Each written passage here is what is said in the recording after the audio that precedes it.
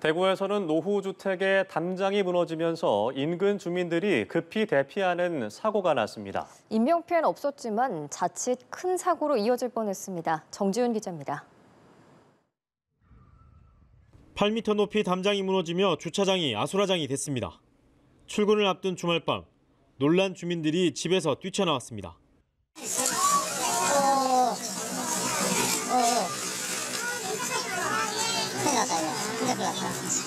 보고 있는데 거기 넘어간다 무너진 담장에서 굴러떨어진 벽돌이 차량 위로 쏟아졌고 주차된 차량 여러 대가 파손됐습니다.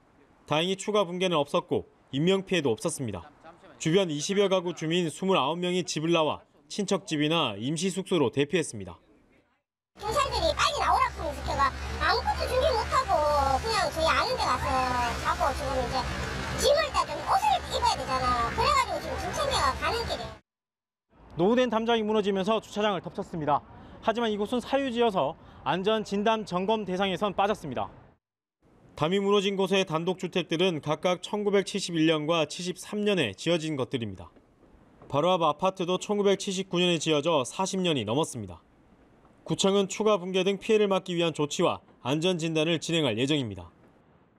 50년 이상 된 건축물이기 때문에 자연적으로 붕괴될 위험성도 있다. 그렇기 때문에 어떤 폭우나 비에 의한 영향보다 자연적으로 붕괴 위험성도 간과할 수 없다는 그런 일차적인 판단을 하였습니다.